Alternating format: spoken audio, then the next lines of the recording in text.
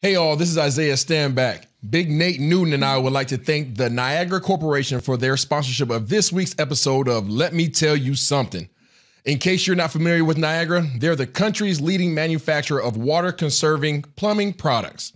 Products that save real money, like Niagara's stealth technology toilets that reduce water usage by up to 60%. Niagara also works with affordable housing projects and commercial multi unit properties to save water usage in dollars where it's needed the most. So, if you want to conserve water and save money, check out niagaracorp.com.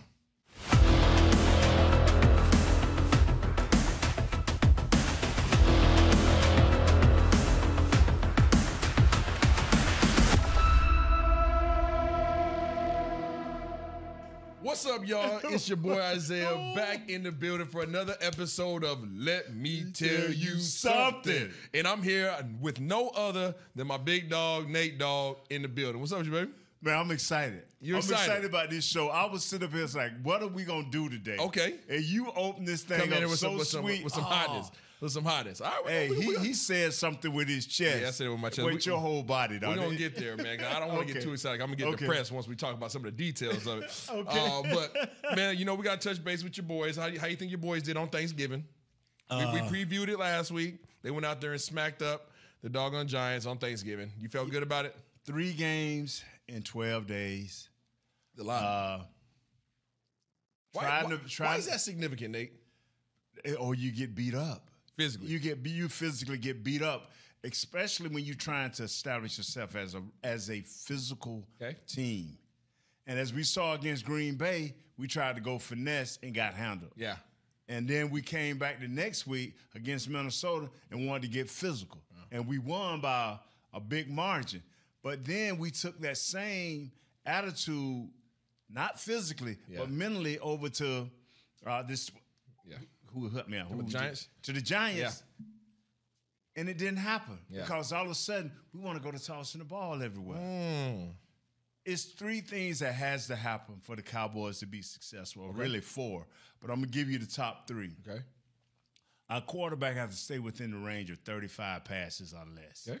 I believe that with all my heart. Mm-hmm. I think we have to have at least 31 minutes of time Possession. of possession. Okay. And I think we have to be over 45% on third downs. Oh, wow. If we want to be this physical team Okay. that we're talking about. No, And no, one no, thing no, we what- really what- have to do But when you talk about those goals, Right, right. those are tangible goals. Yes. But when you talk about success, people's definition of success is different now, Right. based upon the person that you're talking to. When you, when Nate, when Mr. Nate Newton talks about success, what does that equate to? Uh, what, what Does that we- talk about playoffs, like first round? Or does that talk about NFC Championship game? you know, divisional game? Is that talk Uh, about for- playoff round? Like, No, for me, I, I I don't live in a fantasy world. Okay. I don't play fantasy football. I'm talking about getting to the second round. second round. Yes, because you're too inconsistent with who you are. You do you know who the Cowboys? I don't know who the Cowboys are. still They figuring it somewhere between Green Bay and Minnesota. Okay. Trying to establish who they are. All right. And Talking about their identity. Yeah, the identity. And then we still haven't solved the biggest issue of all. That's pre-snap penalties. Mm. We- So Okay. Is that correctable? it's correctable if the players want to be corrected. Okay. You know, the coaches can bring refs out there. They can blow the whistle. Uh-huh. You can't bench four or five guys because the offensive line is maybe your, your main culture. What, what would Jimmy Johnson have done if he was facing that same issue with his team? Well, a lot of this stuff is about physical work. Okay. and you have to work these techniques. They don't do the physical work They're not of getting what reps we during used the week. to do. Okay, I get you. Yeah. So they're getting they're getting slighted on the reps. Yeah. Yes. So that's that's you're saying that's a downside to some of these protective measures that the league is taking. Right. Right, You put on the big helmets and do less work. the padded joints. yeah. All right. So uh, you so you're you're okay with their victory, but not I'm but not satisfied. I'm not satisfied because I still, I, I, as I look at the league and who we have to go up against, we we still can't handle bully ball. Yeah. If people come in with a with, with the right talent and the right frame of mind, we haven't proved that we can stop bully ball. I agree. I agree. So how you feel about when Tennessee comes in there? When Tennessee, no, you don't even want to look past the Eagles. Stop. You don't even want to look past because they bully ball. All right, the I Green Bay you. bad, bro. I got you. So talking about bully ball. Now, there's a we're gonna talk about physical specimens here in a little bit. But one of the physical specimens, I saw a video of this dude walking on the sideline. I'm not, I'm not sure if you've seen it or not, Nate, but I'll show it to you. Okay. There's this dude walking on the sideline, and um, by the name of Takk McKinley.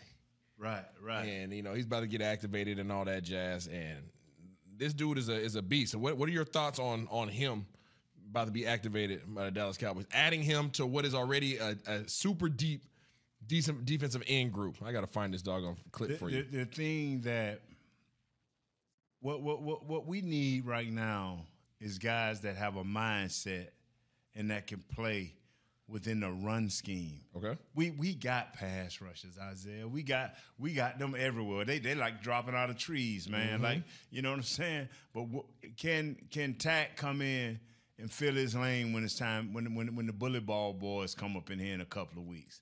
And that and that's what I'm worried about. He looks good. he can rush the pass. Oh man, I know he can rush the pass. Look, look at that pic. Look at that video right there. Look at man, look at. You need to chop his arms off, man.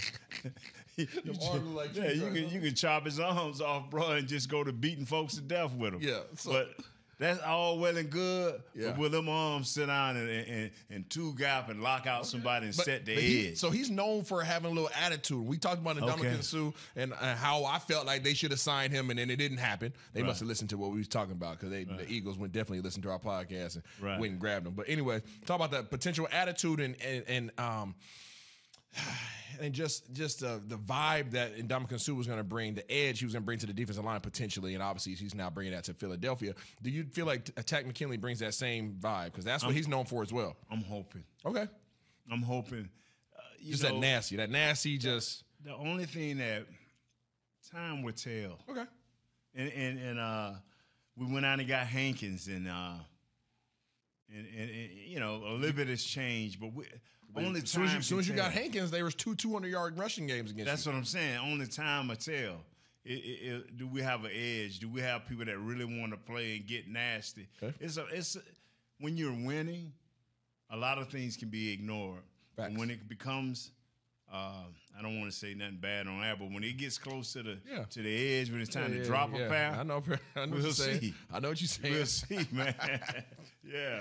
All right, all right, cool, cool, cool. So that's our, our, our synopsis, obviously, of the Dallas Cowboys this past week. But one of the things that came down, and I want to kind of talk about, in this this story here will help us transition. I want to talk about athletes and the difference of athletes from back in the day versus the athletes now, and eventually want to get into you know like the parents and leaving kids playing just one sport versus what we used to do back in the day and kind of how how how did you grow up you know playing sports but one of these doggone superstars in soccer the world cup's going on Yes. okay and, Yes. you know you got all the countries playing right now us is doing really good they just got another victory and um, you know they're on to the knockout round now you got you know the the the Messi's of the world playing with Argentina, and then you have a dude by, by the name of Christian Ronaldo.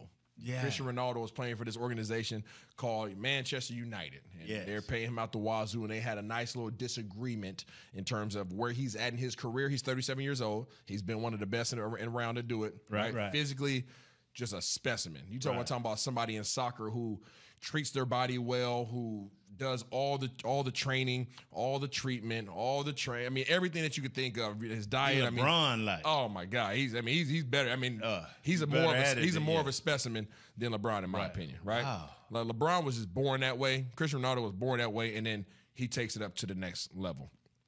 But and he he makes LeBron money look silly, which is crazy to me. Right, right. But this dude works his tail off. This dude is now being offered. He's a free agent. He's about to be a free agent. He's being offered by a team in Saudi Arabia. Okay, and we know Saudi Arabia started that LIV Golf golf um, league, right? And a lot of people from the PGA started leaving, right? All this money was being dumped in there, and people were mad at these players. How dare you leave the PGA and go play, and make a bunch of money for yourself and leave, you know, leave the PGA. Right. I got I got a doggone family to take care of, Nate. I don't I don't know what people's real outlook on that is, but anyway, Saudi Arabia is dumping a bunch of money into sports. They did the LIV, and now they're going out there and they're going after Christian Ronaldo. Do you know how much money they offered this dude, Christian Ronaldo? No, no, I don't, man. They offered him a three-year contract, upwards of two hundred and seven million dollars per year. Two hundred and what? two hundred seven million dollars per year. Wow. That comes out to $17.2 million per month. Wow. Wow. That's nice. To be that talented and to be sought after that that bad. That's it, you know. That that that that encompasses all. That encompasses all, man. How? Yeah. So I can't. I can't even. I played the wrong dog on sport. Obviously, man. I should have been out there kicking the ball somewhere But in a different country. in a different country. Yeah. in a different country because I can't. This that's just unfathomable. But when I see things like this, I think about the opportunities that guys have as athletes and what the what it's provided us. I know particularly in our lives. But like, what do you think has changed? Right? Like you think about Ronaldo. Like Ronaldo, like he did one sport. Right? He did one sport. He was a soccer player. Right? Did you did you just do one sport? Did you just play football Nah, growing nah, up? What'd you do? But see, in America, it's totally different. That's true. and it, you know, some sp- like uh, in the in the world itself, soccer is the number one sport. Very much so. And to be a, a soccer player, especially in small countries that don't have the financial Yep. that we have, it, it is not a lot of options. And so you you put all your focus. It ain't about when I grow up, I'm looking at different athletes on TV. You, ha- it's Ronaldo, it's Yeah. Pele, it's Yeah, yeah, yeah. boom, they focus, man. And so if you're a kid your size with your athletic ability, Yeah. just think now. Yeah, go kick a you ball. was brought, brought up where he was in Brazil or wherever, bro, you would probably be. Boy, my toes would be looking like kung fu because I'd be kicking that ball all over the dog. I'd be kicking that ball Yeah. all over the place. But Yeah. what's your outlook though? Would you do you believe that athletes growing up now should play one sport? Because I played what four or five sports? I think four sports. Nah. What's your what's your thoughts on that, Nate? I think a kid should. Uh, each sport has its own identity and what is what it gives you, so it can help you with other sports. You know, like baseball. I always thought you should always do that because it gives you hand-eye coordination. okay. You know, and I look at I look at football because it gives you a physical presence. All right. You know, soccer gives you that foot Footwork, yeah. footwork, and with foot, you know, because a lot of people can look at things and can't make their feet do what these Yeah, guys yeah, do because they can look and see Yep. and visualize, and all this come become muscle memory. Yep. So I, I think, and then track always gave you to help you with your endurance. Correct. So uh, every sport has what it does. In basketball, I think those are some great athletes too. Yeah. And it gives you body control. It, it, it lets you do multiple things at one time. Dribble a basketball, see what's happening, especially from a point guard position. See what's happening. Yeah. Be able to get rid of that ball. Be able to handle that ball. So it all works hand in hand with me. So I've never tried to. Um, when even my kids was coming up, hey man, you know it's it's, it's football season, it's basketball season, uh, you know it's track season. Let's get it all in because you never know what you can uh, be Yeah. great in. What you're gonna gravitate towards? Right. For sure. How many sports did you play growing up, Uh, Nate? I did football, basketball for a little while, Okay. track, All right. and baseball for a little while. Really? Yeah. What'd Yeah. you do in baseball? Oh, bro, I was sorry. I was sorry. You was trash. I'm garbage. Oh no. Oh yeah, man. I got a brother Tim who played uh, professional football. That dude can hit home runs all day long. yeah. What was happened? What happened when they put you at the plate? If I got, bro, I was so happy to get to first base. I was, I was, I was a, a slap hitter, bro. If you, if that's the word you use, I get that shot right over, Chop right over the second baseman head. Boom, Yeah, drop yeah, it right behind gone. him. I'm going to first. Yeah. That's about it. What'd you do? What'd you play in basketball? uh, center. Okay. Because I was big for my size and tall. I played center. You know, bully ball like type guy. How big know. were you at 13, Nate? I don't know, man. But I was bigger than everybody else. Yeah, he was big boy. Yeah. That's interesting. So I played. What did I do? I did basketball, football. I didn't start to 13. I think I told you that. Football, basketball, track, and baseball. Right. Those are my four sports. But I didn't. I never touched a. I never touched a soccer ball. Yeah. I never touched. That wasn't. That wasn't a thing in my hood. Nah, That- I didn't see anybody with a soccer ball in my hood. Nah, I knew a Pele. Yeah. And uh, every now and then we were kicking around a basketball. Nobody owned no soccer ball. It wasn't no indoor basketball, yeah, though. Yeah. It- you And get the closest we got to a soccer ball was a volleyball. Oh my god. you know what I'm saying? Yeah, So who, when you think about some of the greatest athletes that you've ever been around, who eh, I guess growing up and in the league, who, who like who's, who's some guys? talking that about come- watching? Just guys that you were around. Man, I, we didn't have that in Central Florida, Orlando. Yeah. You know, the biggest guy we had that was was all world was a dude named Darryl Dawkins.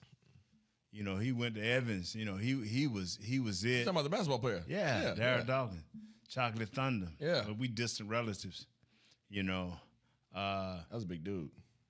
who else? That's about it, man. We had some guys that were great. Yeah. they, they didn't go do nothing. Okay. you know, like you got guys in the hood, like Hood cats, dude uh, yeah, there. yeah. yeah. We had a dude named Oscar Daniels. He was off So the chain. answer me this: Is the best athlete that you've ever been around? Did he come out? Was he in the hood that never made it, or was he a guy that you played with in the league? Man the hood, man. We, I, I'm telling you, it's a dude named Oscar Daniels. He was left-handed, Okay. and and this I this when I really realized he was good. Darryl Dawkins used to come home with a couple of his buddies from the Philadelphia 76ers, Yep. and they'd run a three on three, four on four. Okay. And uh, they would come out to J High because that's where everybody hung out at Jones High, my high school in the summertime. And Big D will be home, Big Dog will be home, and he'll like Oscar, don't play with them. We're gonna let you run with us today. And he would play with the pros. Wow. He he man, He was that nice. And Dog would shoot it out there to him, not even hesitate. He was shooting threes for it with even a, a line. It didn't matter, man. It didn't. He was the only guy I ever saw would come across that half court line, three feet within that right there, or a yard within that. Pull up. Let that thing go. He was Steph Curry before oh Steph. man, yes sir. And uh, but back then you had to have grades to go to school. Yeah, no. That. I don't think people understand that some of the best athletes that are around Yes. just they they never hear about them. Yeah. We had another guy that was I thought was all all right named Buster Spinks. Ooh, he sound like he a beast. Oh man, he he was Is it- back then he was about six feet. Back in high school, he was six feet, six three. Man, two hundred seventeen pounds. Named Buster. Buster, uh, he could run. He could run. He could run a nice hundred. He could run. Oh man, he was all world. Yeah, but Uh, he went to school. He went to North Carolina Central somewhere. I don't. I don't. But dang, back home, man. yeah, to get you. Now the guy that you. made it big for other dude named Hardy Ram. This Okay. dude about six six, about three, three ten. But this back in the day. Jeez. This back he- Hardy Ram went to Notre Dame, but he got hurt his senior year. I think he got hurt, so so the Newton brothers came up. yeah. Man, I would say the best athlete that I've played with would have to be my guy Nate Robinson. Yeah. He Yeah. made it though, dog. Yeah, Nate made it. Yeah. Nate made it. But we all grew up together competing against each other, you know, competing against each other with each other. Um, but Nate was just he was special. He was special. I mean, he was special in NBA. He's the only still to this day the only three-time dunk champion Yeah. in the, in the NBA. And um, this dude played everything. You know, he didn't I don't think he played baseball really. But basketball, track, football, I mean, he he went to UW. He went to college on a football scholarship. Right, right. Wow. Yeah, he went to yeah, we went to school together on a football scholarship, and then he played basketball and went to the NBA. Like Charlie Ward was Yeah, Florida State. very much so, very much so, like Charlie Ward. Yeah, That's you know how great an athlete you really, really, really, really have to be. especially at five eight. Yeah. Yeah, yeah, he, yeah, he, was special. Nate was special, man. So yeah, shout out to Nate. Prayers up for Nate too, because he's he's going through um kidney failure right now. Yeah, yeah, he's going through kidney failure right now. So I'm gonna tell you another guy we had, man. This dude's name was Herschel. Mike Walker. Mike Walker, His name okay, was Mike Walker. He went to Florida State. I think broke his ankle or something like that. But this, I'm telling you, this dude in high school, junior high, this dude in junior high, we played eight games. This dude rushed for over a thousand yards. We played eight games. He, he probably had about 15, 1600 yards, just killing folks. Then he went to Oak Ridge, you know, yeah, and, and, and Florida State came and got him, and he broke his ankle. That it's some. I'm gonna tell you, man, the best athletes from my area didn't always. didn't make it. Yeah, Didn't make it. Yep. No. I yep. So I had Nate, and I think probably the my other boy is Omar. His name was Omar. Omar, he in prison now, but Omar was a, he was a dude, and they had another dude named Herbert. wow. You know, you got them hood names. You them cats, them cats. You They probably stay, Yeah, they probably stay right there in the hood. They usually stay right there in the hood. yeah, Her- and Herbert, we got Herbert. We got him out of out of jail and brought him on the football team. Wow. Yeah, we needed some numbers, so we went to we went to juvie and pulled him up out of there and put his butt right on the football team. And we was having we was having fights like it was doggone the longest yard on the, at practice. And you know what was so funny, Isaiah, is these weren't always the fastest guys in the world. They just what they did, they were just the best at what they did. Yeah.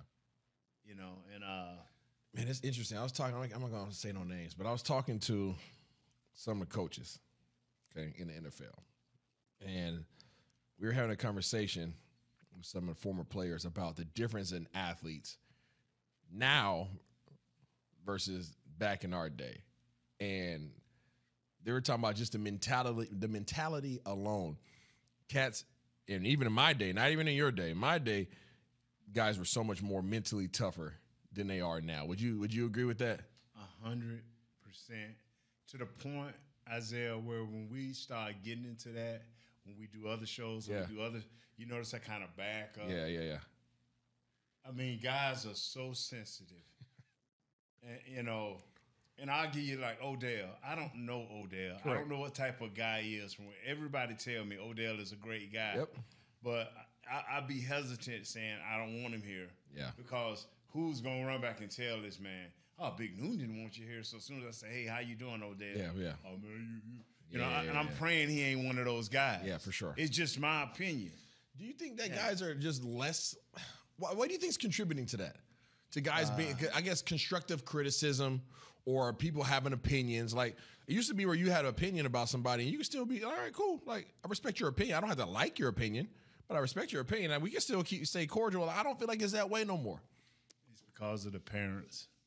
Okay, It's because of how the parents treat them. participation trophies. Uh, you used to you used to drop your kid off at practice and coach handled them. Yeah, Now you drop your kids off in practice. Cover. You get your chair and your shade tree or whatever, your umbrella, and you sit right there and watch. It's true. And you tell your kid what he should be doing when the coach is trying to coach him. Uh, he do something wrong and the coach try to straighten him and, and and you may not say nothing, but then as soon as your kid get with you, oh baby, it's all right. there's a lot of that going on, Nate. Yeah. there's a lot of. And to the point where you will beat up the coach, I beat up another opponent, or do something even worse. even worse. We've seen that. We've seen that here recently.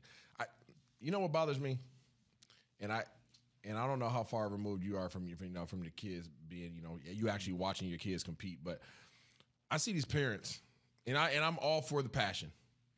I'm, I'm all for parents being invested and passionate about their kids and their development, but. I have to, I, to your point, I've learned a lot from you, Nate, in terms of how to just be reserved and just sit back and just Right, I got Mm, you, right? man. Because I see some of these parents and they're trying to take over as coaches, and I'm like, you don't even have a, a grain of athleticism. God just bless you with a gift. Yeah, and like- you don't know how to use it. I'm, I'm, I'm saying like the parents are like That's overbearing. what I'm saying. You know, you talking about the parents sitting back, you know, watching them for the sidelines and then trying to coach them up. And I'm like, if you don't know sports or haven't even played sports, like you probably shouldn't be saying nothing. But like you got these, like they want to coach all these little side tournaments and all this other jazz. And I just sit back there and I'm just like, oh my gosh, what, what are they doing? What are and I, it's like I don't I don't know.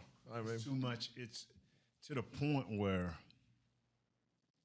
if they see their kids failing, instead of helping them find help to help them be better, whether it's technique, whether it's a mental issue, whatever, they go to YouTube. they- they- yeah, and they, and then and then they grab their kids and take them out. Start they- hopping, start hopping around. Yeah, or they uh this is the biggest thing right here. Or somebody done told them, not the coach, but somebody like myself said, Oh, I like him, he looks good. Oh, da, da. What would live it and now all of a sudden you don't even bring your kid to practice anymore. Hey, Nate Newton said, Yeah, no. Hold on, Nate just said he like how he built. Nate didn't because you know me, I'm all about winning. Yep. You know, I don't care how you look. If if we winning, I'm good. Yeah. And so No, but I think you're I think you're absolutely correct because I even my, I, I think my, my wife and I we didn't get into it, but we we had a disagreement um, a couple times in reference to my my kids. Yeah, it must was a good one because you folded your arms. Yeah, yeah, I, So when you yeah, I fold your arms, defensive. gotta- Yeah, I, didn't- I got defensive body language. But you know, my son, my son didn't want to go to practice one day. Right. I just need a break. I said, what? You need a You need a what? and my wife was like, I think we should just keep him home today. I'm like, the heck, we are gonna keep him home today. That boy made a commitment. Right. He- I don't care how he's feeling, Right. in regards to he wants to go to practice or not, because if you allow that window that one time. Now all of a sudden is a repeat behavior. Now that's an oppor- Now that's a that's an that's that's an option for me. Now practice is a choice, Wow. right? So that, that's something I was trying to get across. I'm like, no, no, no. You don't get to pick and choose when you want to go to practice. You know, you don't get to pick and choose if you want to train and get better. Like these are commitments. Wow. And I think a lot of parents are having those discussions, and a lot of them are coming to a consensus. Okay, yeah, you know they're not playing you, so let's go to another team, mm. or let's let's let's go do this. Or your coach doesn't know what he's talking about, so let me turn on YouTube real quick, and I'm gonna go. I'll show you how to do it. I've never played a sport in my life, or never played past middle school, but I'm gonna show you what that coach doesn't know. You know, I I don't go to I don't go to kids stuff anymore. All right. I, I, I don't. I, uh, I I used to love to go watch little kids play, Okay. and I see how coaches, like, even though I was a big kid and we had smaller kids around me when I played, the coach didn't just let me beat up these little kids, you know, physically and Yeah. mentally because he knew these kids had to grow. Correct. Some of these kids got not as big as me, but uh-huh. just as tall, Yeah. faster, Just- quicker, just- and just I later. can't even touch them no yeah. more. Yeah. Well, I, I go to some. I went to a practice one time, and I saw this baby. I'm telling you, man, he had to be about this tall. Yeah. just happened to be seven or eight years old. Okay. The kid was this tall, and man, they was talking about. I say, sir, Yeah. I don't know who kid that is, but he can't tackle him. I, Yeah. You can try to teach a kid to tackle, but not not No, that no. type of disadvantage. and I, and the man, well, And these coaches be getting off on it. Now he didn't know who I was. Well, you know, it's easy for you to sit over here and say. I, I, Mm. I, I got on my bike because I ride my bike. I like it, it, back then. I said some foul things. Yeah. you know. So uh, hold on. So you was just passing by yeah, and you just- stopped. But I, but that right there wasn't fair. Yeah. And so I'm saying to myself, won't he let him tackle kids his size and learn the right way to tackle kids his Right. size? And then when he do run up on that monster, Mm-hmm. you know, in a game, he at least can have the idea how to do it right. Concept. Yeah. And so whether we trying to coach our kids, we got to use common sense, but it's got to be a toughness there. See, I ain't never had a problem with common sense, but when you allow your kid to miss practice, when you allow your kid to, uh, especially when your kid have that, um, see, back then we had to move up. Yeah. See, and I don't know if that was right or wrong. Yep, based but I was bigger size. than most people, so I had to move up. Yep, I remember so that. you either got tough Yep. and got mean because now they wasn't gonna hurt you because you was the same size. Yeah. they may be a year or two older, but they you were the same size. Correct, mindset. But man, when you when you undersized, that, I think that can hurt a kid. Oh, absolutely, that can hurt a kid. I- and I think a lot of it pertains to these coaches and them kind of getting off on, oh yeah, I got this big kid. You know what I'm saying? He's dominating, it. and uh, they're reliving maybe what they didn't have. Yeah, yeah. and I, I don't know. I, I don't. I can't. I can't relate. But we've seen it, right? We've seen it too many times where these coaches get so involved and so hyped because these kids like, oh yeah, this kid, I got this one kid, da, da," and then they they allow them to become bullies in a sense, and you know they become batter rams, and I don't know, man. I don't know. One Nate, man. dude told me. He walked up to me and said, "Man, I won seven straight Super Bowls." and I looked at him because he was an older gentleman. I said, "Well, who did you?" You know, I'm like, Yeah, who'd you play for? Who Yeah. you play for? Yeah, I didn't know there was a Oh, team. No, no, I'm talking about Pop Warner team. Stop this, Nate. Stop. I looked at him and said, "Yes, sir." I looked at him. I looked at him and said, "Yes, sir." And I just, uh, Hold on. And I cut hold that on, Nate. Hold on. So, so so you went from being excited, you going through like, Yeah. no, nobody got seven. Jamie, that was Super Yeah, Bowl. like, I yeah, said, I'm no, like, no. man, is he Tom Brady's great granddad or somebody? But and I, I- and I don't want to take away from His nobody's joy, yeah, yeah. thunder. But if that's your goal in life, now if he'd have walked up and told me, "Hey, I have eight or nine kids that's at Duncanville or Southlake. Yeah. they're well coached kids. They're doing good because I taught them proper technique."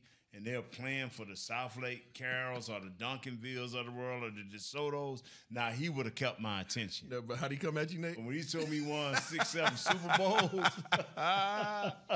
Was he rocking the rings? Oh, Was he man. rocking the rings? Oh, He man. oh gosh. but see, I, I I tell people, people come to me for advice. Okay. And first thing I tell them, I say, is I try to say, do you have a trainer in your area that you trust? Yeah. Because I cannot, you know, I know I know how to set up techniques, but is your kid even conditioned for these Mm, techniques? So I try to direct. If it's a trainer, Yeah. a foot person like you, foot, Yeah, yeah, yeah. hips, hey, go to that person. Tell their them what you're mechanics right, seeking, yeah. yeah, and let the, and let them help. Then go to your coach at your high school. They should know someone Okay. that can help your kid. Now, You know. on that, a lot of these high school coaches now, at least in Texas, these programs have gotten so big. These these coaches are getting paid so much. There's recruiting going on. I don't care what nobody says. There's recruiting going on. People are moving around from city to city and state to state to go play at these football programs. Uh, what's your thoughts on these coaches that are so protective of their kids and their programs that they don't want their kids training other places and getting outside help? That that that that once again, that's bad parenting. Yeah. See, uh, my kid, you know, fell into that at Southlake, and I told him, I said, "You you you hurting yourself." You know, but his mom was running things. So I, okay, Backed up. Yeah. yeah, you you, but you're hurting yourself because you you taking away from what you can be. You know, he would let them run track, and then when when when spring training, they you know they got to go between track. I, I just like I used to look at him, you know, and, I, and, hope that somebody can get smart. I mean, this is what gets me is you you go 365 days a year playing basketball. That's stupid. That's, that's, that's wear and tear in the same muscle You groups. go 165 days a year playing football. That's stupid. Yeah. You know, uh, baseball, you go all year round. That's stupid. Yeah. And so I, I have a friend, uh, and I've been watching and monitoring his kid ever since he was young. And I, I used to tell him, all I'm gonna ask you to do is stretch your kid, keep him stretched, always keep him stretched, keep him hydrated. Don't let him throw his arm out because he was a young man, he was a young baby, yeah. he could pitch. I said, Yeah. please, please don't let no curve, only fastball. Yep, straight only ahead. fastball, no curves. Just, Yep. And he listened to me. Now, I don't know an ounce about baseball. Yeah, but you know that. I, I knew curveballs can break kids' Elbow, elbows. yeah, yeah, absolutely. And Tommy so- John. And I told him, I said, keep your kids stretched. And I say, please, after every baseball season, can he get two weeks off? Yeah. Can he? Don't run him right into another. You know, And he looked. He, I said, I'm serious. Trust me. Yeah. And uh, his kid getting ready. to, I think go to Texas A&M. There you go. Yeah, he getting Nice. ready to go because he took care of his kid. Yep. And the same thing you talked about about talking to mom. We're going. We're not going to let him go to practice today. Dad, like, oh, come on now. What you what you doing here? Yeah. You looking at this short term. I'm looking at this long term. Yeah. If you if you start giving kids, I mean, what if he's a basketball player? give- if he was to get to the NBA, he'll be probably taking 15, 20 games. You can't. Yeah, exactly. That's what's going on now, Yeah, right? We're seeing that in the NBA. It's it's, yeah. it's just different, man. Culturally different. You know, guys are more. Back in the day, cats didn't take games off. Games off. Well, you paid to do a job. And that's what I tell. I'm like, you can't Games give, up. you can't give a full, honest opinion of another man that you see on film and you know what you're looking at, and you can't just be like, you know, like I said something the other day about uh, I called uh, the Colts garbage. I'm like, they garbage. Yeah. You know, not that they players can't do the job, but their mentality Yes. is not allowing them to overcome Correct. these obstacles. Correct. And so that, I'm talking about the mentality, not they because they got Nelson, big All Pro guard. Yeah. Uh, Oh, their big- O-line is oh, nice on man, paper. Yeah, they got Kelly. To, oh, they got. They've a nice- invested a lot of money in Yeah. their O line. So I'm, I'm like, you got a nice offensive line. Then Shaquille, uh, the linebacker's hurt. Yeah. You know, then you still got the boy they got from uh, the Dominican Patriots. Sue, So uh, they got players, Yeah. but then when you when you get that garbage mentality, which I had when I first got to the Cowboys, when you get that garbage mentality, you ain't gonna work hard. You ain't gonna do nothing extra. You, you know, you get injured. It's uh, a two week injury turned into a month. Yeah. All right. Before before we hop off, what's, what's your one piece of advice for for parents out there that are that are dealing with children who are not wanting to fully commit, or even just to the parents that are that are that need to understand what it takes? If you don't quit, they won't quit. Yeah. My father never quit. Yeah.